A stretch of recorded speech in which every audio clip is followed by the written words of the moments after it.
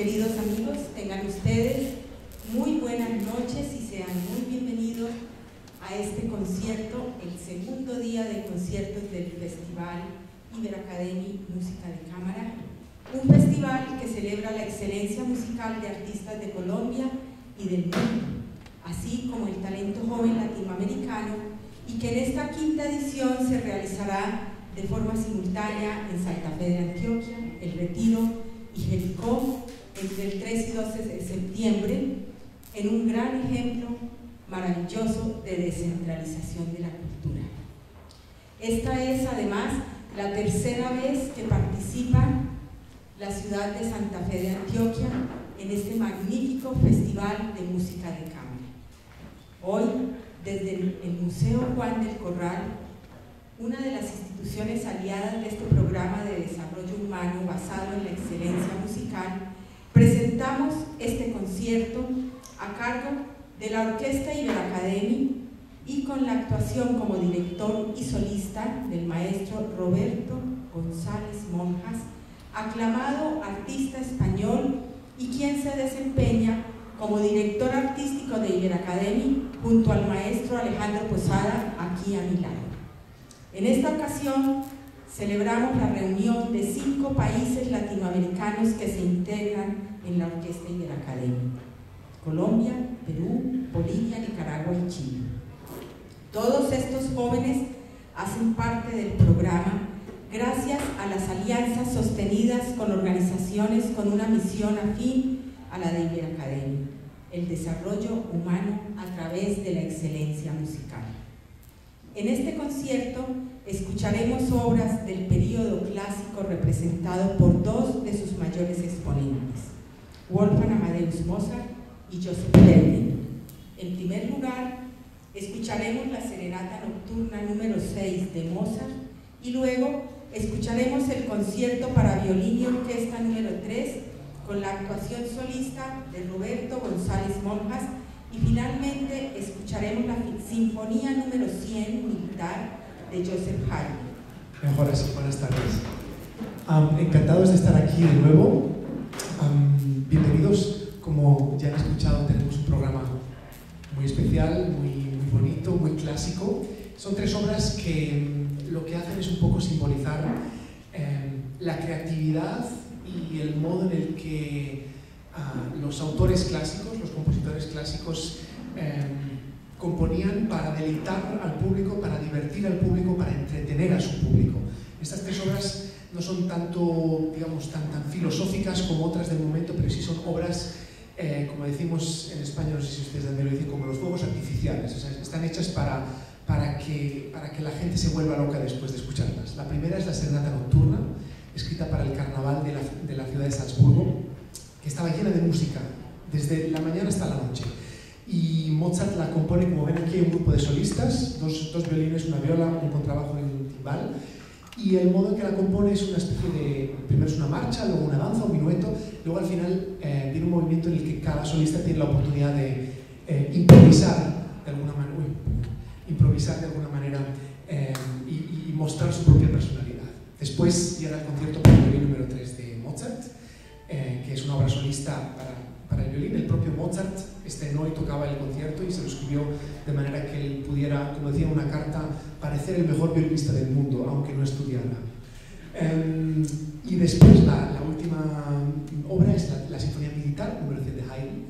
Eh, Haydn la compuso para Londres, el público de Londres era especialmente em, difícil de, de convencer y él lo que hace en este caso es incluir una banda de percusión turca militar eh, como una sorpresa para el público, de manera que de alguna manera em, meter unos sonidos orientales que en aquel momento gustaban muchísimo y que justo cuando terminó la pieza le pidieron que por favor la repitieran inmediatamente, no, no dos sino tres veces. Así que espero que em, lo disfruten con nosotros, les llevamos en este viaje acompañado de mis chicos de Iberacademy. Muchas gracias.